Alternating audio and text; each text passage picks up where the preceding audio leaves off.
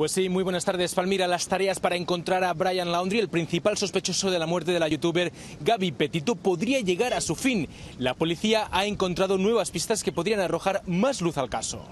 Vuelco de 180 grados en la búsqueda de Brian Laundry. Las autoridades han encontrado restos humanos en un parque de Florida junto a una bolsa, un cuaderno personal y otros artículos que parecen ser suyos.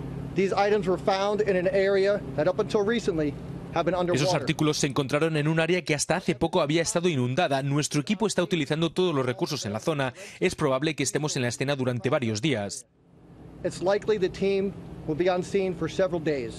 El joven de 23 años se había convertido en una persona de interés para la policía ya que se le considera el autor del asesinato de su novia, la youtuber Gaby Petito, que desapareció mientras ambos realizaban un viaje en carretera y más tarde fue hallada muerta por asfixia. Hasta hace pocas horas, la familia de Petito confiaba en que él podía aparecer con vida.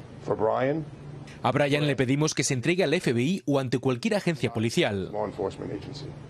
Hace más de un mes que Landry se fue y no dejó rastro. Hay la sensación de que fallaron muchas cosas. Días antes de su muerte, un policía había visto a Gaby llorando y en estado de ansiedad por una fuerte discusión con él. Quizás este fatídico final pudo haberse evitado.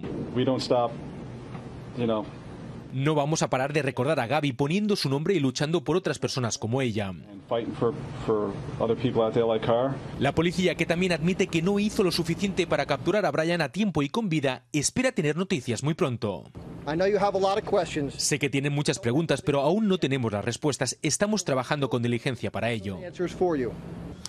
Esperaremos a ver qué pasa en las próximas horas. Hay que recordar que Laundry no ha sido acusado por la muerte de su novia y sí de haber usado dos cuentas bancarias que no le pertenecían. Ojalá este caso se resuelva muy pronto. Palmira, eso es todo por mi parte. Devuelvo la conexión al estudio.